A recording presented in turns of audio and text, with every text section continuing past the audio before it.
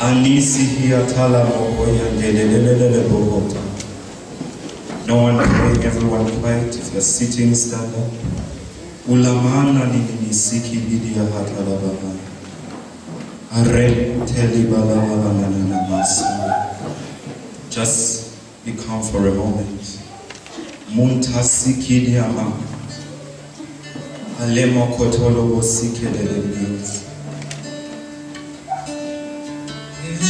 Inside your majesty. Only Emmanuel play, the rest you join soon.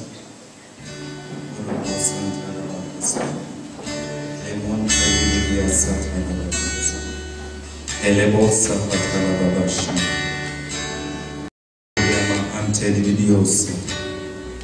Oma anta dividiasa. Oriama ande dividiosa. Orobosa, orobo, orobosh. Alibakata dividiasa patala basa.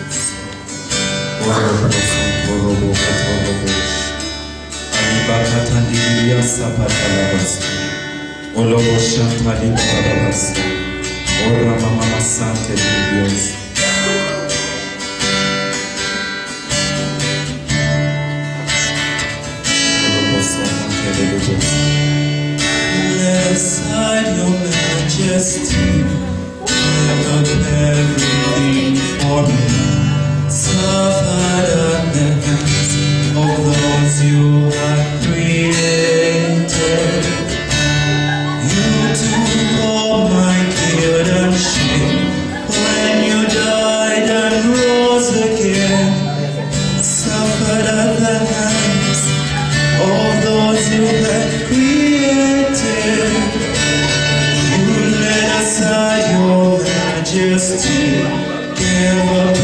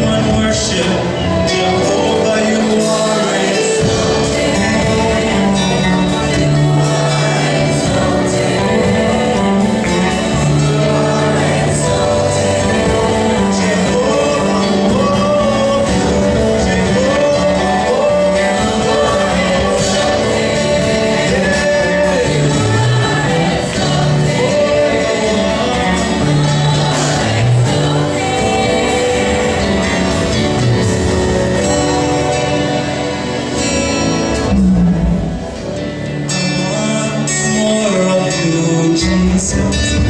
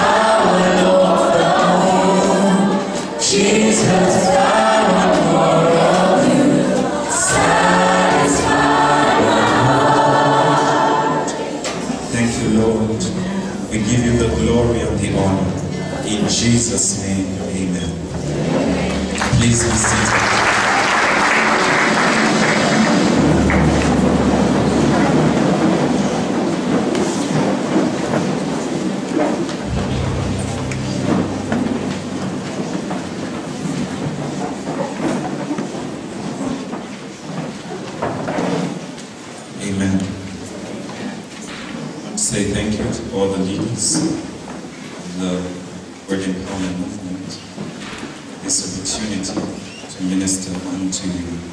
Amen. I believe you will be blessed. I believe you were blessed the day you decided to come. Amen. So I'll speak briefly, then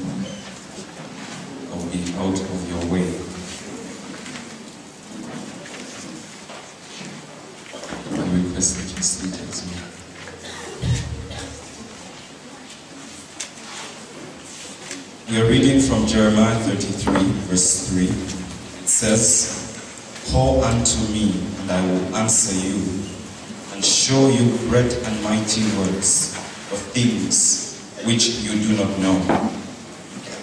Then we are also reading from Colossians 1, verse 25 to 27. It says, Whereof I am made a minister according to the dispensation of God, administration of God, which is given to me for you to fulfill the word of God, even the mystery which hath been hid from ages and from generations, but is made manifest to his saints, to whom God would make known what is the riches of the glory of this mystery among the Gentiles, which is Christ in you, the hope of glory. Amen. Now, I'll say a few things about this. I believe the Lord wants to do something unusual in our lives today. This has been on his heart for a very long time. There is a song which I love very much. Every time I try to sing it, I forget to sing it until after I've ministered. I don't know why, but it says, For a long time I have waited for you. For a long time I've waited for you. I like the last part which says, I was made for loving you. Now, the title of my message, actually it has three titles. You can choose one. I was struggling with which one. So I put all of them here. The Jesus experience. Or if you want, from visitation to habitation. Or if you want, unlocking the hidden mystery. I like that one better. Now, what is this we're talking about? Because we're talking about mysteries, I will delve a little bit into what mysteries are. The nature and character of God, in its very essence, is mysterious. Again, there's another song I like that says, You're not so far away, you're not so mysterious, you're living on the inside of me. Now, that in itself is a mystery. Colossians 2, verse 2, and 1 Timothy 3, verse 16 show us that the character of God is that of mystery. Now, God has a tendency to hide what is most dear and most precious, to provoke in us an adventurous heart, a seeking heart. The process of searching for a mystery does two things to us. The first thing it does is it transforms us into what we are seeking after. The second thing is it makes us desire more of what we have found. Amen. It is therefore imperative for us to understand what this hidden mystery is. Amen. The Greek word translated mystery is mysterio, which means, and I quote, to shut the mouth. A secret or something reserved for the elite. God, however, doesn't stop there. He wants us to find this mystery. So God has mysteries which He wants us to find. And if He wants us to find them, then He gives us the ability to.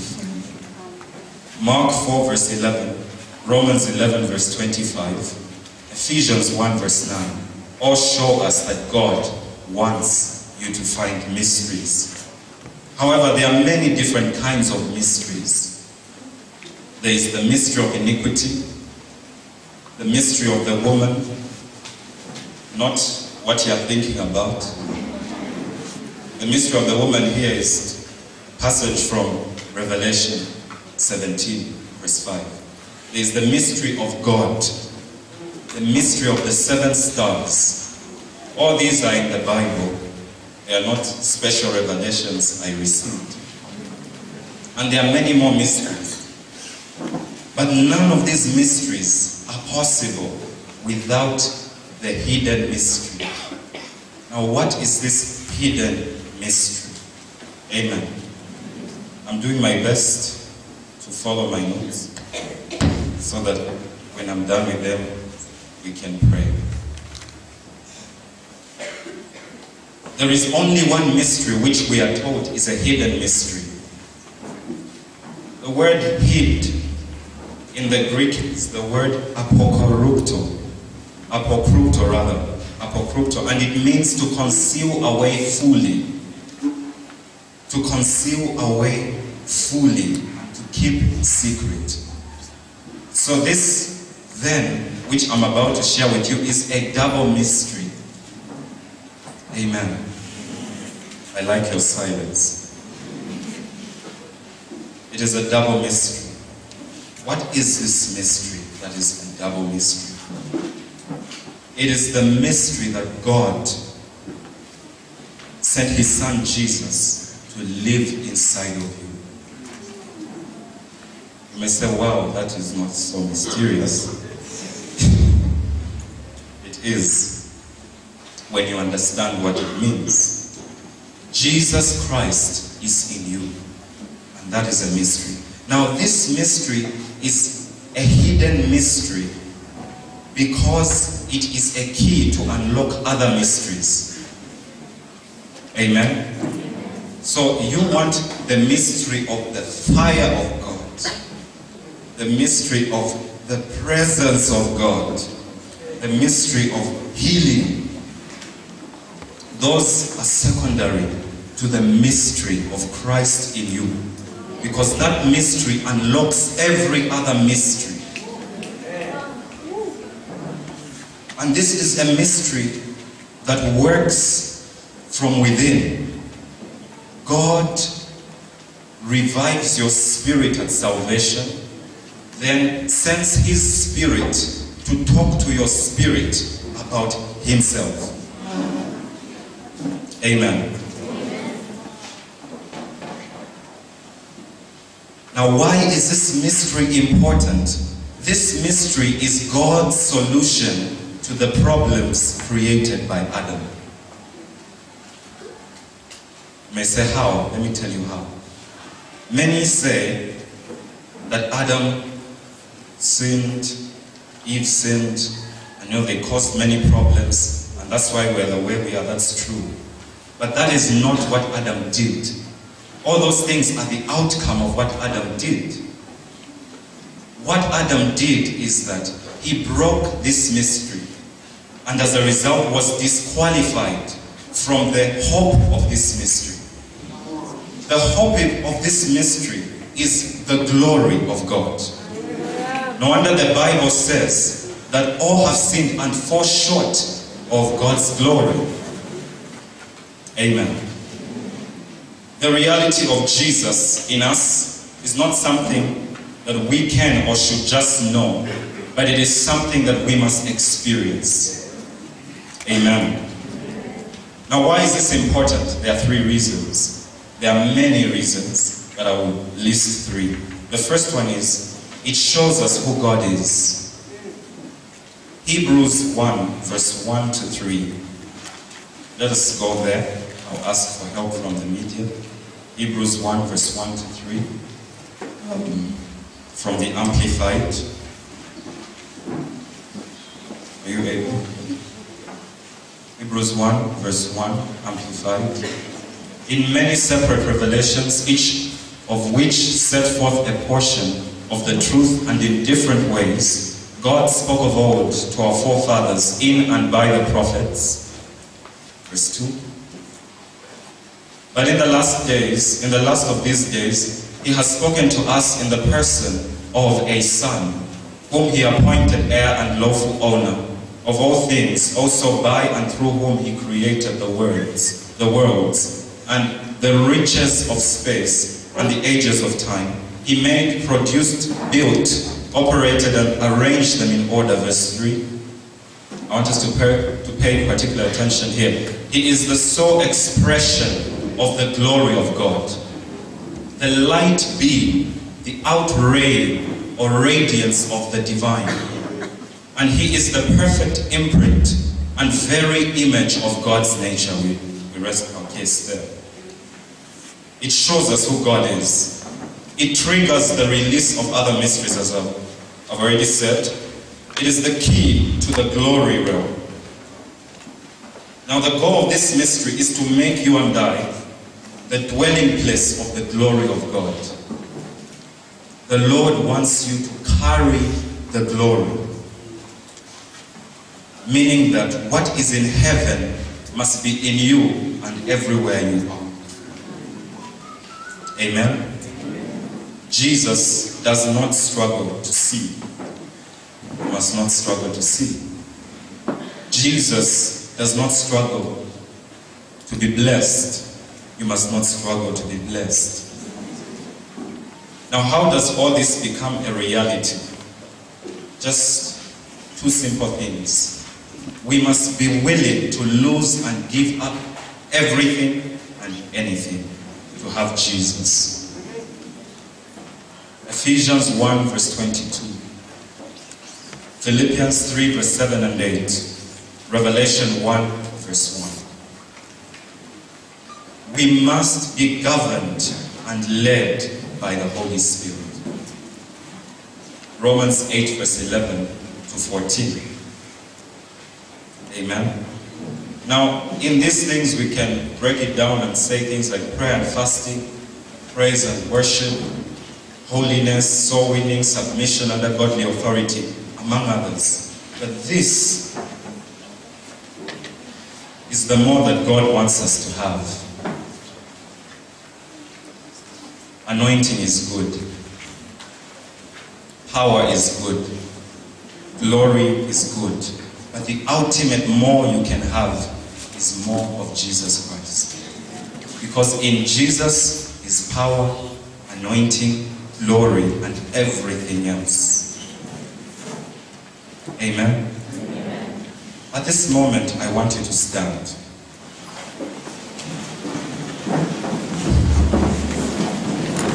You're disappointed.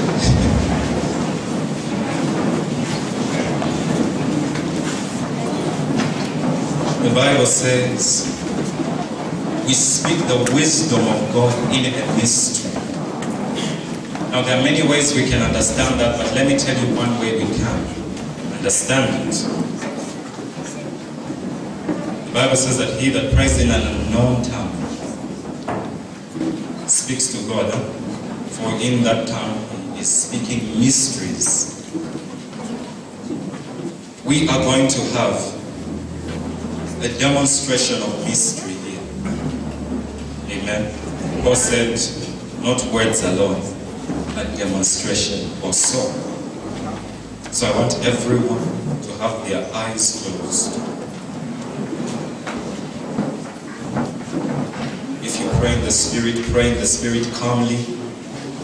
If you don't, just begin to thank God.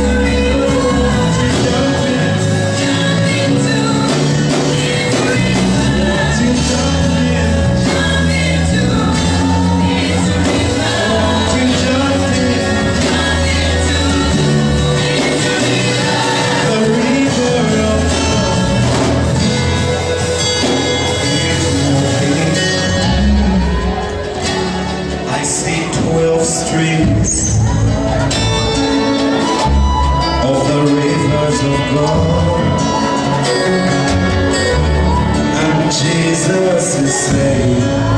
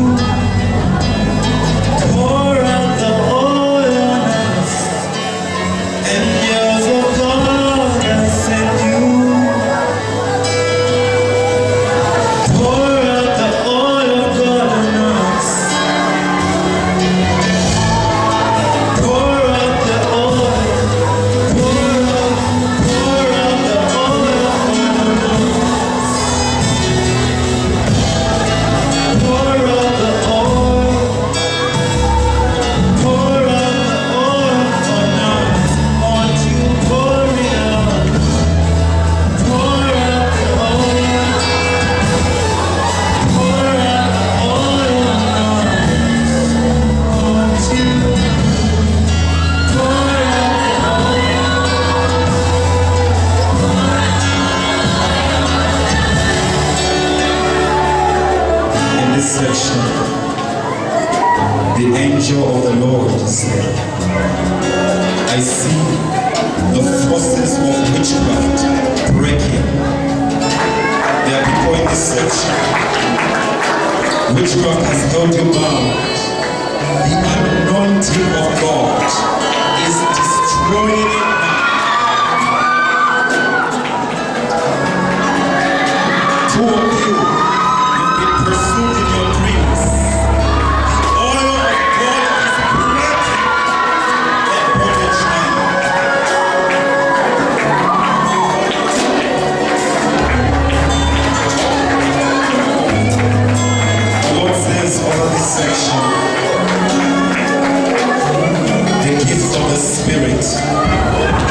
took away